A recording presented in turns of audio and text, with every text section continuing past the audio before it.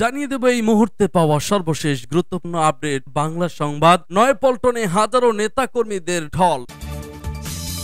এরপর জানিয়ে দেব যশোরের যুবলীগ নেতাকে বাড়ির সামনে গুলি করে হত্যা। এদিকে খালেদা জিয়াকে বিষ প্রয়োগে হত্যার পরিকল্পনা ক্লিয়ার, বলছে রিজভি। এবং জানিয়ে দেব ইউ রাষ্ট্রদূতদের সঙ্গে বৈঠকে আওয়ামী লীগ কিছুদিনের মধ্যেই অন্তর্বর্তীকালীন সরকার গঠিত হবে। আরও জানিয়ে দেব, নির্বাচনের আগে জামিন পাচ্ছেন না মামুনুল হক।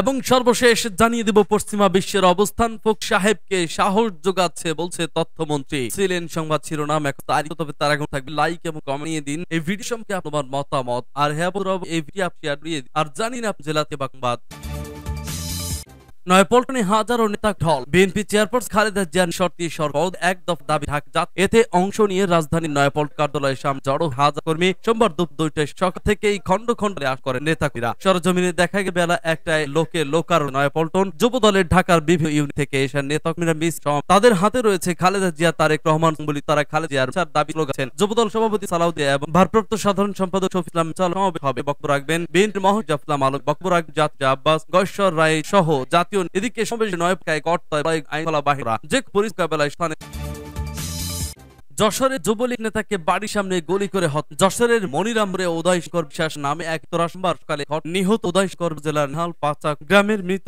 নেহাল যুবলীগের সভাপতি এবং ট্যাকের ঘাট বালিকা উচ্চ বিদ্যালয়ের সভাপতি এবং নেহাল গুল্যান্ড কলেজ ভাস যশ অতীত পুলিশ পর বেলাল জানান, বর্তমান দশটার দিকে উদয়শকর ট্যাক গার্ড বাজ- বাজার বাড়ি ফেরার থেকে বাড়ি তাকে জানান, ঘটে এলাকাবাস। কথা বলে জানা গেছে আটজন হঠাৎ আওয়াজ আস উদয় রাস্তার রক্ত অবস্থায় নিহতের মরদেহ উদ্ধার মর্গ প্রেরণ করা অতিরিক্ত পুলিশ পর আরও জানান সে আজ নিহতের পরিবারের মামলার খালেদা জিয়াকে বিষ প্রয়োগে হত্যার পরিকল্পনা ক্লিয়ার বলছে রিজভি। বিএনপি চেয়ারপারসন, সাবেক প্রধানমন্ত্রী বেগম জিয়াকে বিষ প্রয়োগে হত্যার পরিকল্পনা ক্লিয়ার হয়েছে লন্ডনে। শেখ হাসিনার বক্তৃতায় এমন অভিযোগ করে বিএনপি সিনিয়র যুগ্ম মহাসচিব অ্যাডভোকেট কবির রিজভি বলছেন, সময় হয়ে গেছে, এত কানকাটি করে লাভ নাই, অর্থাৎ শেখ হাসিনা জানেন বেগম জিয়া কক্তুর করে ঢলে। কারণ বিশ্বের কার্যকরিতার মেয়াদ একমাত্র অবৈধ প্রধানমন্ত্রী শেখ হাসিনাই জানেন সোমবার সকালে নয়পল্ট দলের কেন্দ্রীয় কার্যালয়ের আয়োজন খবরে রিজভি বলেন, দেশবাসী জানে এক ব্যক্তি মরণ বেদনার করুন সন্দিক্ষণের কাহিনী। এই ব্যক্তি জনগণের ব্যাপক জন যিনি জীবনে কখনোই বাচ পরাজিত হন, তার জীবনে আপোষহীন সংগ্রামে। এই ব্যক্তি নিরন্তর সংগ্রাম, ছিল অবরুদ্ধ গণতন্ত্র পুনরুজ্জীবনের স্বাধীনতা সার্বভৌম গণতান্ত্রিক ধার তেজদ্বীপ তিনি দেশের অগ্রগতি ও প্রগতি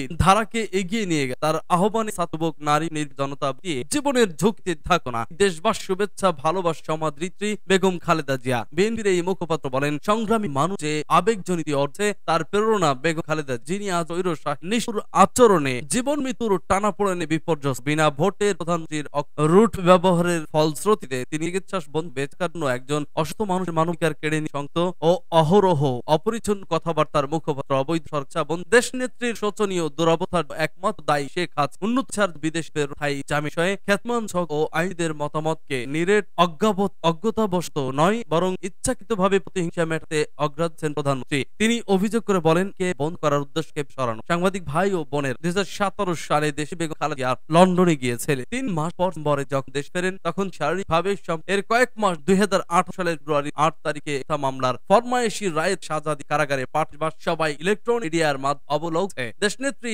হেঁটেই কারার ফটক পার তাহলে সোয়া দুই বছরে কেন এত রস হলে রেজভি বলেন, হিংসা, রক্তপাত দেয় আর অসতার অসততার সংমিশ্রণে যদি রাষ্ট্রনয়ন করা হয়, তাহলে ভয়ানক, অশুভ কিছু ঘটানো যায়। স্বার্থস্থির জন্য রাজনীতির নামে বিরোধী নেতাকে হত্যার নানা দৃষ্টান্ত আছে। দুনিয়া, রাশিয়ার বিরোধী নেতা আলেক্সাই নাভাল এর চায়ের মধ্যে বিষ মেশানো হয়। বিজ্ঞানীরা মোটামুটি অস্ত ইয়াস আরাফাত, এর মধ্যে বিষাক্ত পদার্থ পলিনিয়ামের অস্ত্র শনাক্ত, এটাই তার মৃত্যুর কারণ। চীনের চীন বংশের সম্রাট কোয়াংশু ক্ষমতাচ্যুত হলে গৃহবন্দী থাকা অবস্থায় বিষ খাইয়ে তাকে মারা হয়। একজন মোঘল সম্রাটের সহচর হয়ে পড়লে চিকিৎসা করাতে দেওয়া হয় ফরাসি চিকিৎসক, কারণ পরবর্তীতে মুঘল সম্রাটের বিরাগ ভাজন ছিলেন তিনি। সারা বিশ্বে এহেটান ভরি ভরি কর্তৃত্ববাদী নাচি একদলীয় ব্যবস্থায় বিরোধী নেতাদের কারাগারে বিষ প্রয়োগে হত্যার অসংখ্য দৃষ্টান্ত।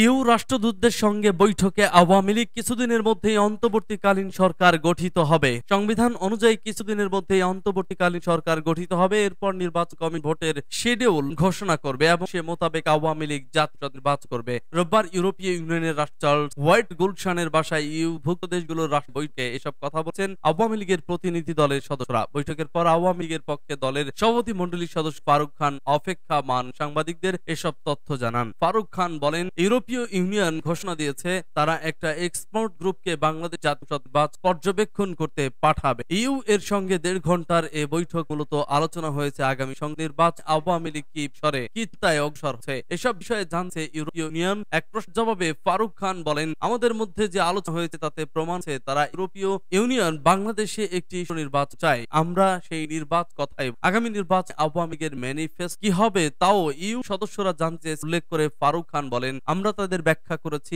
আমাদের ম্যানিফেস্টার সাধারণত দুটি অংশ থাকে। প্রথমত অংশে গতবার যে ম্যানিফেস্টা দেওয়া হয়েছে, সেখানে আমাদের যে কমিটমেন্টগুলো ছিল, সেটা আমরা কতদূর পূরণ করতে পেরেছি, তা আমরা জনগণকে জানাব। পরের অংশে আগামী পাঁচ বছর আমরা চাই জানাব। এই লক্ষিদারদের নিয়ে বৈঠকে তারা কাজ করেছেন, কিছুদিনের মধ্যে এটা হলে তা আওয়ামী লীগের ওয়ার্কটির প্রেস ক্লাব প্লেস করা হবে। সেখানে এটা অনুমোদন পেলে প্রেস কনফারেন্সের মাধ্যমে সবাইকে জানানো হবে।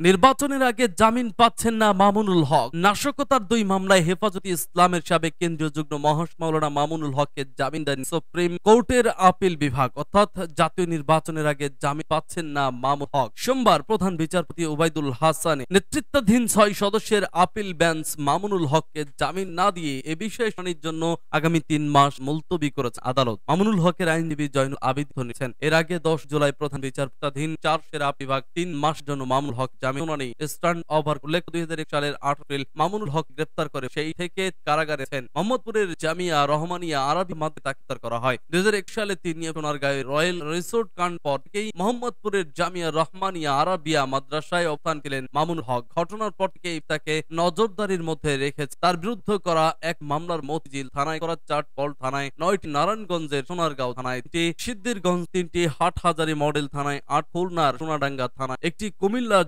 চান্দিনা থানায়, একটি রাজধানীর ভাটার থানায়, একটি মোহাম্মদ থানায়, একটি দারু সালাম থানায়, পাঁচটি ও মিরপুর মডেল থানায় ছাড়াও তার ঢাকার ট্রাইব্যুনালেও মামলা দায়ের পশ্চিমা বিশ্বের অবস্থান ফখরুল সাহেবকে সাহস যোগাচ্ছে বলছে তথ্যমন্ত্রী। ফিলিস্তিনিদের বিরুদ্ধে পশ্চিমা বিশ্বের অবস্থান একদিকে ইসরায়েলকে সাহস যোগাচ্ছে, আরেকদিকে মির্জা ফখ সাহেবকে সাহস যোগাচ্ছে বলে জানিয়েছেন তথ্য সম্প্রচার এবং আওয়ামী সাধারণ পাদক ডক্টর হাসান মাহ তিনি বলেন, একটি বৃহৎ নাক এজন্য বিএনপি নিশ্চুপ থেকে প্রকৃতপক্ষে বর্বরতা মমতার যুদ্ধাপরাধের পক্ষে এবং ইসরায়েলের পক্ষে দেশের জনগণ এদের চিনে রাখ। সোমবার দুপুরে শিবালয়ে তথ্য সম্প্রচার মন্ত্রণালয়ের সম্মেলন কক্ষে সাংবাদিকদের সঙ্গে মতিময় সভায় এ কথা বলেন। মির্জা ফোক সাহেবের একটা কথা আলোচেন। সরকার পথ চলমান আন্দোলন, সেখানে মার্ক রাষ্ট্র পশ্চিমা বিশ্বের সমর্থন তাদের আছে। এজন্য তারা এগিয়ে যাচ্ছে। এ বিষয়ে মতামত জান চাইলে তথ্য সম্প্রচার বলেন, তিনি যে সমর্থনের কথা বললেন, সেটি হলো তাদের অবস্থান, তাদেরকে সাহস যোগাচ্ছে। আসলে তাদের আন্দোলনকে কেউ সমর্থন দেয় না। পশ্চিমা বিশ্বের অবস্থান, যেমন ইসরায়েলকে সাহস যোগাচ্ছে মির্জা ফোক সাহেব। এর বক্তব্য শুনে মনে হচ্ছে তাদের অবস্থান তাদেরকে সাহস যোগাচ্ছে। দুইটার মধ্যে মিল আছে। পশ্চিমা বিশ্বের অবস্থা রাইল পস্ট সাহসে এবং পশ্চিমাদের বিশ্বের বিভিন্ন দেশ ও ইউরোপের বিভিন্ন দেশে যুক্তরাজ্য ফ্রান্স, জার্মানি দেশে যুক্তরাজ্য, ফ্রান্স, জার্মানি, অস্ট্রিয়া, এমনকি অস্ট্রেলিয়া সহ বিশ্বের